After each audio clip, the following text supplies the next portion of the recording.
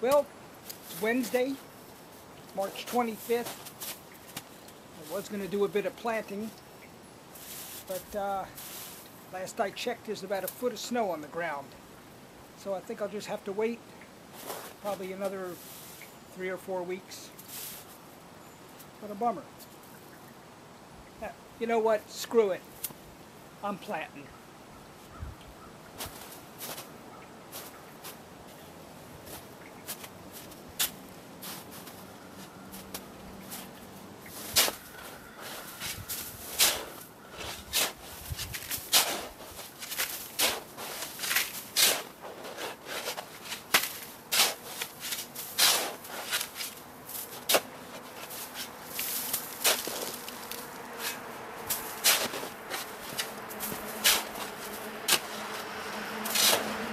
Well,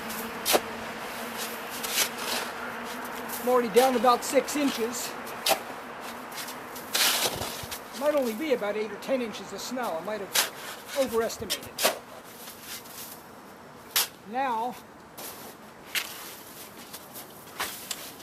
I think I have to uh,